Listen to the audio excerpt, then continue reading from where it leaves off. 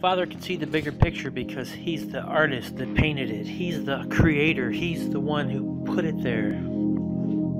He sees what you can with your limited carnal mind. You have the mind of a child. And it's not to say that you're childish, it's just to say that there's things that you don't know. There's things that you don't understand. There's things that you cannot fathom. There's things that are beyond our human limitations. There's things of the Spirit that we know little or nothing about. Father knows what's best for you. Father knows what's best for me. Father knows what's best for us. He created us. He has a plan for us. He wrote a book about us and about our remarkable lives. It had nothing to do with us chasing our carnal desires.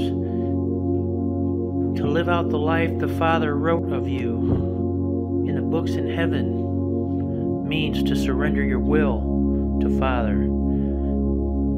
Father is all powerful, He knows all things. And He made you so powerful that you can resist Him, that you can live a life without Him, that you can completely turn away from Him. Have that free will, you have that choice. You can choose to live without Father. You can choose to live without His guidance. You can choose to live without Him in your life. You can choose to do what you want to do, to serve your flesh, carnal body, and your carnal mind you can choose to serve that which is of the earth.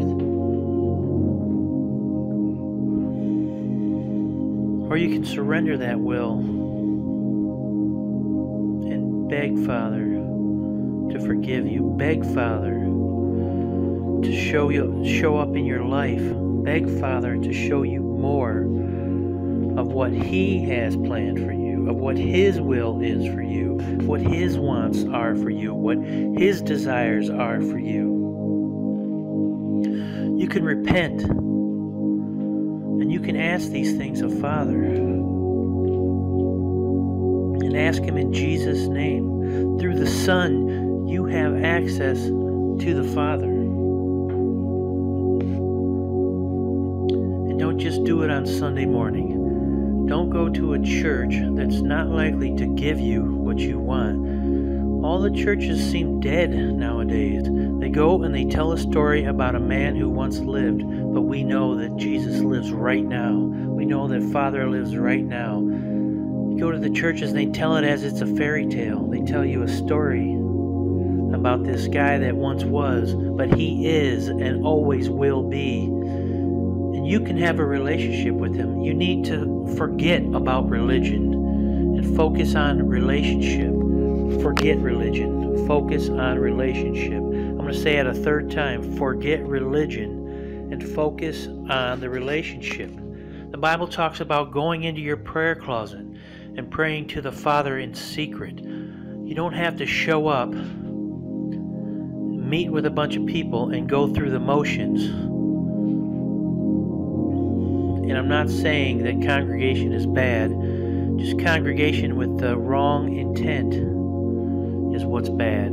People that are going to church just to have people see them going to church, or people that are going to church to be puffed up to say, I go to church.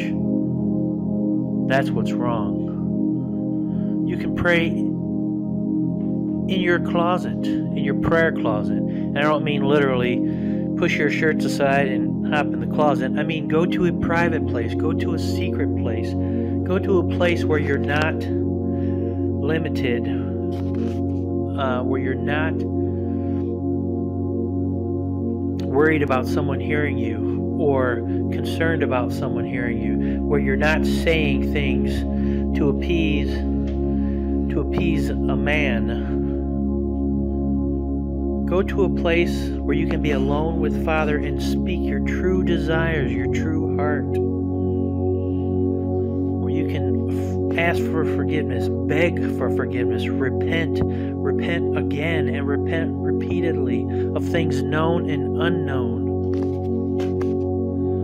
The carnal desires don't stop because you have a carnal body. But you can turn all that over to the Father.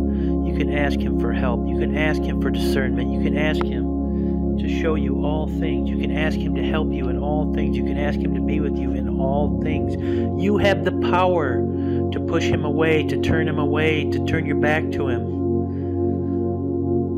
But once you've turned your back to the Father, know that He loves you. He loves you. He's with you always, and He's waiting for you. Once you've turned your back to Him, He's waiting for you to turn back around, to face Him, to move towards Him, to step closer, to lean in more to Him so that He can do the same to you. He gives you the option to keep Him at bay.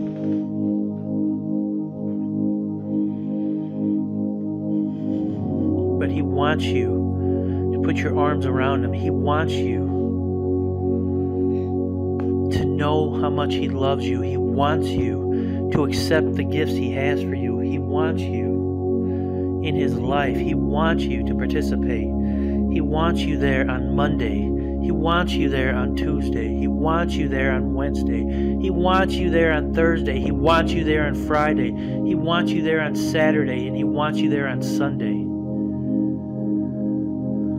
Father's always with you. And He wants you to always be with Him, to always choose Him first. Choose Him above all other desires. Surrender your will to Him because He knows what's best for you. He knows, regardless of what your flesh wants, regardless of what your carnal mind wants, He knows the spiritual greatness that you need. He knows the, the gifts of the Spirit that will take you farther in this physical life than you have ever fathomed. He knows above all else how to put the pieces together in your life so that you can live a life for Him. You may not like what Father has in mind for you, you may not like it, but you don't have to like it. Just as the child, just as the parent tells the child, no. Sometimes we need to hear the word no. We may not like it because it may be something we want. We may throw a tantrum just as the child does, but we are his children. He is our father and he knows best. He knows what we need more than we do. You may have a want, but he knows your need. He sees the bigger picture again because he is the illustrator.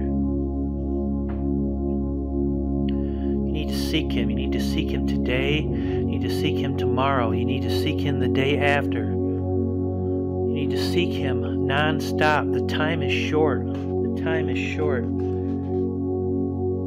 Father wants you in his life. Father wants you to turn away from the evils of the world. Because the world is evil. The things of the world are evil. You chase things. You chase items. You chase money. You chase flesh. You chase all these things that'll go away. All of these things that'll disappear. All of these things that have no meaning. All of these things you've been sold, you've been told a lie. All of these things that you think are going to give you fulfillment but won't. All of these things that you think will give you joy but won't. All of these things you think will fill up your life but continue to leave you empty. It's because you're missing the Father. You're missing the Father.